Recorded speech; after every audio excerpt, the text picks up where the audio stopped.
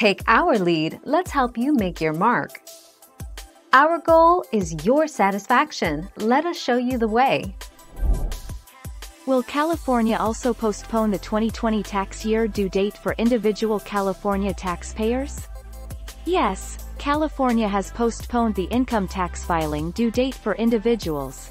Those who file Forms 540, 542EZ, and 540NR, including PIT composite returns, for the 2020 tax year from April 15, 2021, to May 17, 2021.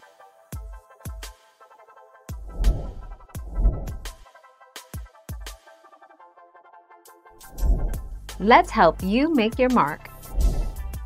Individual tax filers, regardless of income, can use Free File to electronically request an automatic tax filing extension. Filing this form gives you until October 15 to file a return. To get the extension, you must estimate your tax liability on this form and should also pay any amount due. Thank you for watching. Please subscribe and hit the bell notification.